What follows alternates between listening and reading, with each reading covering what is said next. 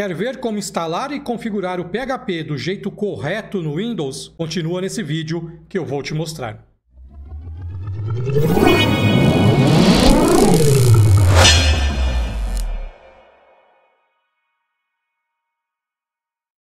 Fala Techers! Hoje eu vou mostrar para vocês como instalar e configurar e rodar o PHP do jeito correto no Windows. O que nós vamos fazer é baixar o PHP e depois fazer todas as configurações necessárias para ele rodar no seu computador.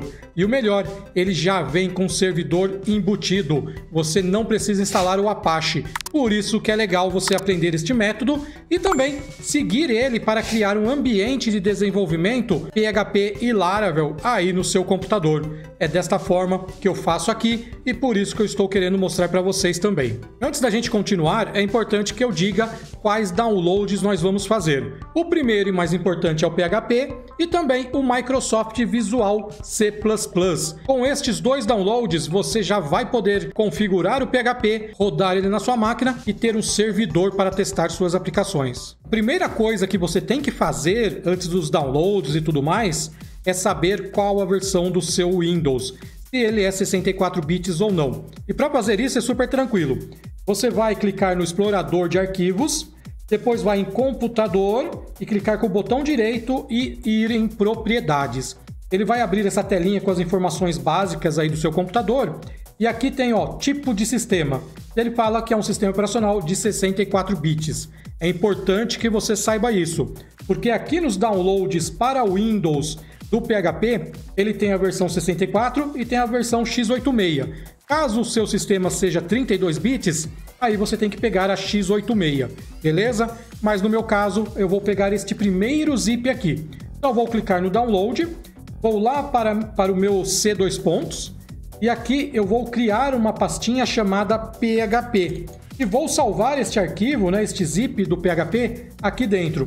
Quando vai fazer o download, é super rápido, é 25 megas, então é super tranquilo para baixar.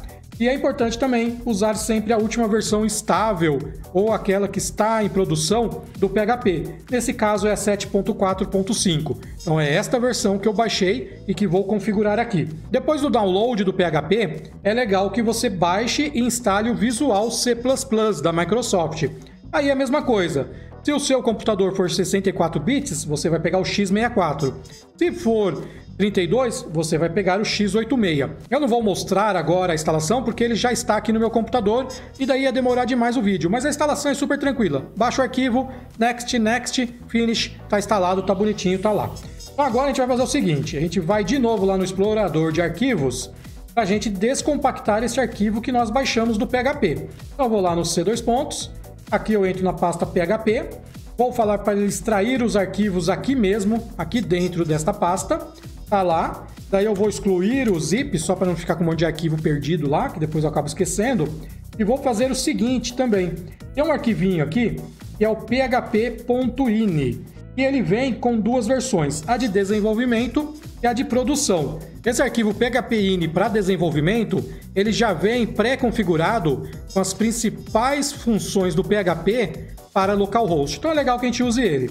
Então eu vou clicar nele, vou apagar essa parte de desenvolvimento que tem aqui e vou deixar apenas php.ini. Ele vai dar essa mensagem, mas ok, é só dar o ok no Windows aí e beleza. Então tá aqui o meu php.ini Antes de finalizar o vídeo, eu mostro ele aqui no editor para vocês verem tudo que é possível mudar lá. Agora, para o PHP funcionar ali em qualquer lugar do seu computador, a gente precisa adicionar ele nas variáveis do sistema, porque senão o PHP não funciona. Vou até mostrar para você aqui, né? Vou mostrar para vocês, amigos techers, eu, do que eu estou falando, ó. Eu vou abrir aqui o CMD, que é o prompt de comando aí do, do Windows, né? Deixa eu ver se está legalzinho, tá? E se eu digitar aqui, ó, PHP, ele diz que não é um comando reconhecido, ele não sabe o que é. Por quê? Ele não está nas variáveis de sistemas do Windows, e é isso que nós vamos fazer agora. Então pode fechar o CMD. Vamos abrir de novo essa telinha aqui com as informações básicas e vamos clicar aqui ó, em opções avançadas do sistema. Clicou aí, ele vai abrir esta janelinha aqui. E a última opção aqui embaixo são as variáveis de ambiente que é onde a gente vai colocar o caminho do PHP na máquina. Eu vou ó, copiar esta URL, que é c dois pontos barra PHP.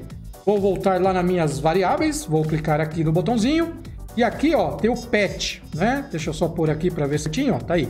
Aqui tem a opção pet, que é de caminho. Eu vou dar dois cliques e vou fazer o que? Adicionar um novo. E vou colar o caminho do PHP que eu copiei lá no passo anterior.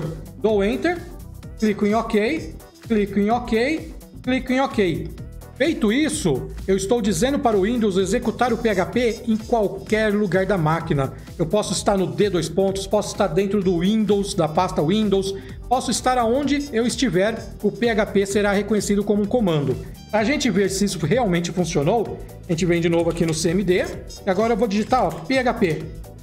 Olha lá, ele não deu erro, mas também não executou nada, porque ele não sabe o que tem que fazer. Então eu vou dar um PHP version que é o quê? Eu quero saber a versão do PHP que está instalada. Tá lá, PHP 7.4.5. Eu já estou com o PHP prontinho na minha máquina configurado. Agora, lógico, falta uma configuraçãozinha simples ainda no arquivo hosts do Windows. Mas essa parte do PHP funcionar já está aí. Eu já poderia até rodar um servidor, mas antes eu tenho que fazer uma pequena configuração. Então eu vou só minimizar aqui o CMD e agora eu vou fazer o seguinte: eu vou abrir o bloco de notas como administrador. Tem que ser como administrador. Então você clica com o botão direito em cima de bloco de notas, executar como admin, clica em sim e o bloco de notas vai abrir aqui, tá vendo? Bem bonito, bem lindo. Agora a gente vai fazer o seguinte: a gente vai em arquivo, abrir, nós vamos no C2 pontos, Windows, System 32, Drivers, etc ou etc. Aqui você não está enxergando nada porque a gente precisa falar para o bloco de notas mostrar todas as extensões. Então a gente coloca asterisco, ponto asterisco, né? Só selecionar essa opção aqui e olha o hosts aqui. Dois cliques, ele abriu. E aqui, ó, tem 127.0.0.1 localhost. Eu estou dizendo que este IP é o meu IP de localhost.